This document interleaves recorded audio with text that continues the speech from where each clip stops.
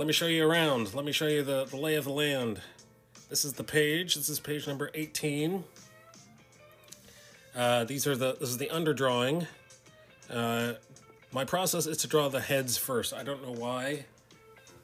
Uh, it shows me, it gives me, uh, a, you know, some place to, to put the body. Uh, let's see, we're missing this. Yep.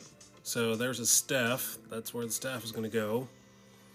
And uh, right now, Joseph is sending, excuse me, Israel is sending off Joseph to go find his brothers in Shechem. And uh, there's there's words. There's words that go in these balloons. So I don't remember the exact words.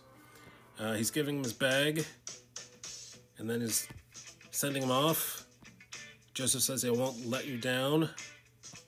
That's why I'm, that's why you're the Behor. Behor, uh, for those of you who don't know, is the uh, the leader of the family. So let's work on this hat. I've never seen this process. Well, it's not necessarily the right process.